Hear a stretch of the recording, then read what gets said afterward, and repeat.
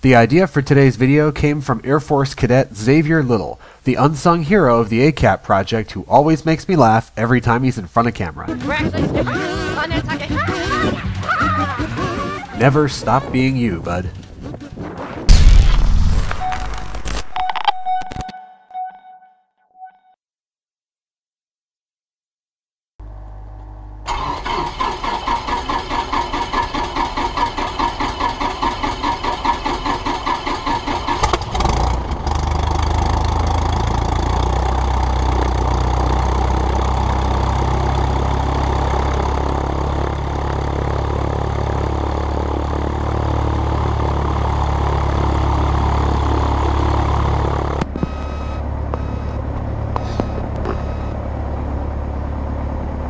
Testing.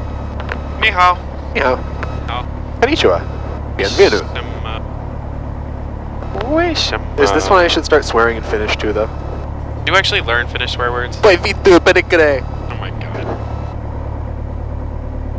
Tuo ni mama. Satana.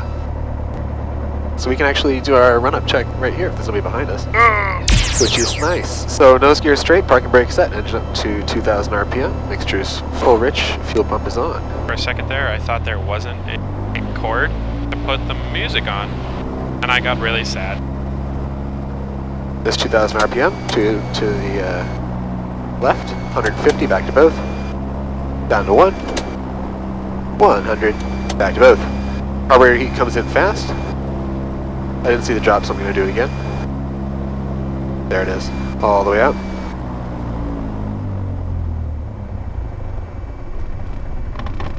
They stay running down to 500 RPM, which is good.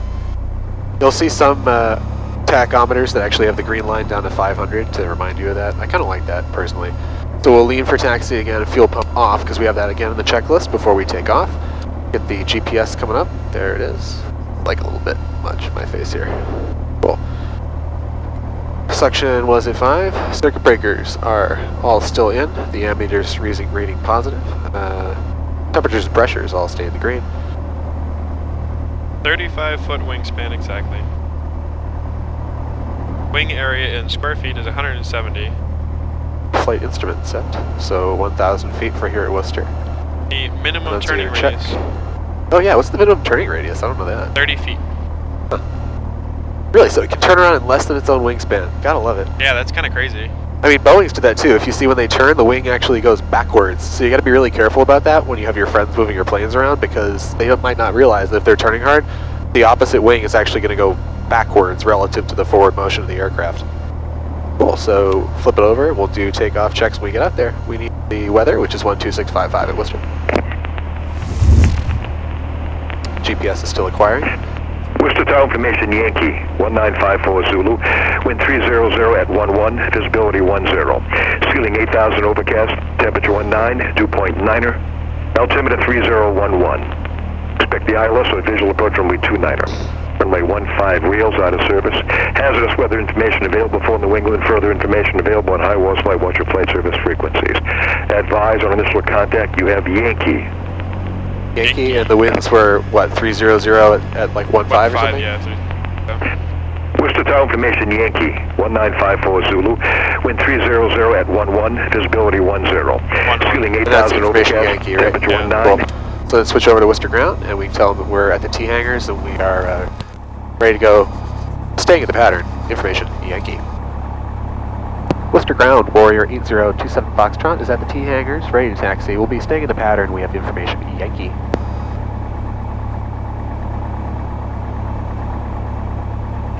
November 80, and say again the call sign, please. 8027 Foxtrot. November 8027 Foxtrot, runway 29 at Bravo, taxi via Bravo, hold short of 29. Taxi 2 and hold short of 29 via Bravo for 8027 Foxtrot.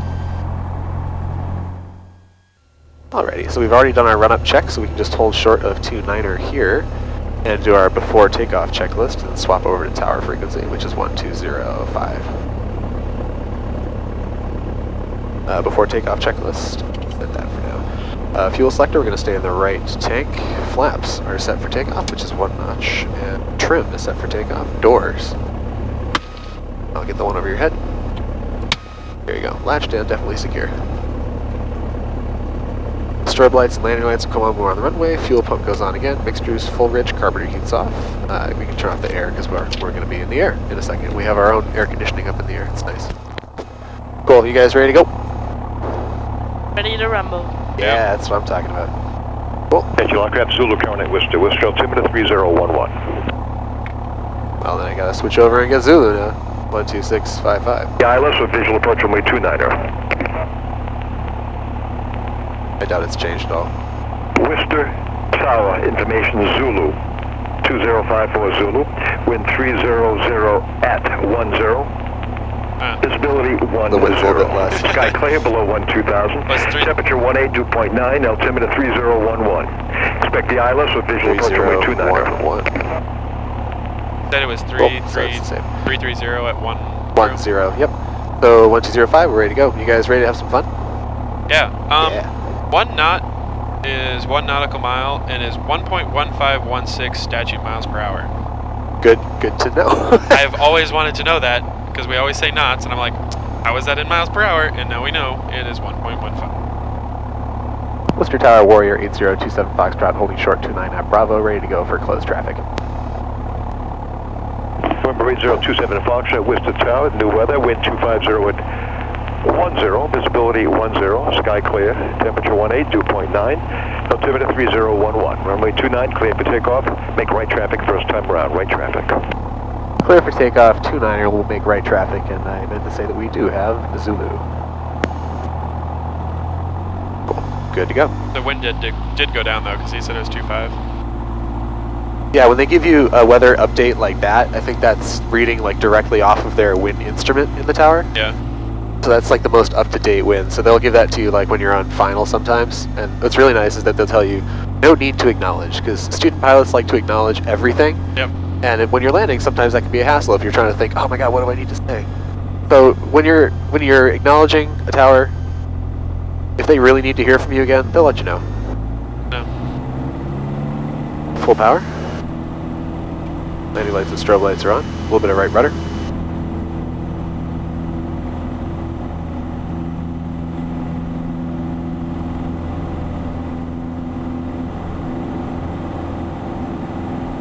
That's what I'm talking about. Goodbye, ground. There's the wind. Another tendency I see all too often is people that race to get that plane off the ground. And you, you want to get a good climb rate going, you know, after takeoff to make sure you have enough altitude to be safe, but you don't need to lose the horizon underneath the nose. That's just dangerous because you can't see what's in front of you and, you know, Yeah. putting yourself at risk of stall anytime you do that. Would you say 700? Uh, for like an abort height, yeah. Hey, whenever, if you guys have heard me say this in the past when I go like 700 clear abort, that's actually some lingo that I borrowed from glider pilots because they'll have a defined abort field if they have a failure of their, um, uh, like their tow rope on the way up. Yep. Um, you know, you can pick an abort field too. There's no reason why not. I mean, right here, actually, off the end of uh, 1129 at Worcester, there's some really good fields for that. Yep. Um, so you can say, you know, here we're coming up on 700 feet above the ground, 700 feet AGL, clear abort. And then we can begin our turn onto crosswind. Um, I was, I was uh, referring to the climb rate. That was. Yeah, 700 feet per minute. Yep. Um, you're not too worried about the actual V speed you're, or um, vertical speed. You're more worried about the. Uh, sorry, I just need to make sure I keep on my heading for crosswind here. Um, you're more worried about the, the speed you're holding. So if you hold like your actual VY or VX, then whatever your vertical speed is, you're guaranteed that it's the best it can be. That's 1,000 feet AGL, so bring the power back. And as soon as we're in downwind, I'll drop the flaps. And watching it come up parallel right there. And we're looking for 90 knots in the pattern. I can pitch down a little bit, the flaps. Well, isn't that just gorgeous? Look at all the trees. I know, they're so pretty and colorful. Look at this. It's uh, autumn time in New England, folks. Yeah, it's it's definitely a new, uh, like a new look. Yeah, new scenery. New than when we usually come up. It's really really pretty. Like Worcester looks so different. And then you'll see if the tower didn't tell me where to report, so if I don't hear from them by the time we're at beam 29, I'll just let them know. My favorite though is always being able to see to the bottom of the ponds. Worcester Tower Warrior 27 Foxtrot, the beam, the number is 29. 327 Foxtrot was tower runway 29, uh, clear touch and go. Actually cleared for the option. Winds are 300 at 11, Worcester altimeter 3011. Cleared for the option, 29er, and will that be a right or left traffic on the way back around? 27 Foxtrot, initially fly runway heading, I'll keep you advised, and we've had reports of bird activity south of the airport, although at this time I'm not observing anything. Alright, I'll fly runway heading and you can let me know. Thanks for keeping us safe, 27 Foxtrot. Alright, so bring the power down. We can do our before landing checklist now. Mixture, master, mags, fuel pumps on, do a carb heat check, no significant drops, so you can take it back out. And that's base turn right there. And we are, just for fun, 1.7 away from the middle of the field. So if it's a two mile runway, that means we're about rules of not doing math on final here. um, that means we're 0.7 0.7. away from the threshold. Cool. It's like the easiest math I could have done. Yeah, I know. I, I blanked too, don't worry. so keeping those VASIs white and trimming it out. We're inside the white arc. Power's all the way out. Inside the white arc, one notch of flaps. Pitching down a little bit. You see me push down the yoke like that when I have the flaps, because the flaps tend to pop your nose up a bit. Yep. And two notches of flaps to keep us on that uh, glide slope. Uh, winds are nice and calm. I love this time of night. And three notches of flaps. There's always a bunch of sink right here at Worcester right before the runway. And three notches of flaps once you have it made. Keep it coming down. Oh, there's that sink right there. See? You feel that?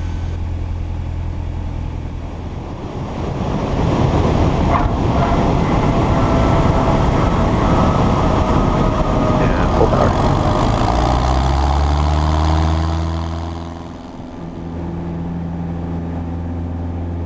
Worcester Tower 792 is with you with the, on the ILS for 29. Number 792, Worcester Tower, runway 29, reports bags, winds 300 at 11. 29, reports bags inbound, 792.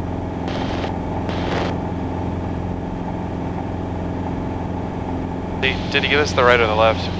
He said fly runway heading and he will let us 27 know. Foxtrot, plan on left traffic, but for now, continue upwind an extra mile or two before you make your left turn for the left traffic, please, for sequencing. I will continue my upwind for a little bit and then left traffic for 27 Foxtrot.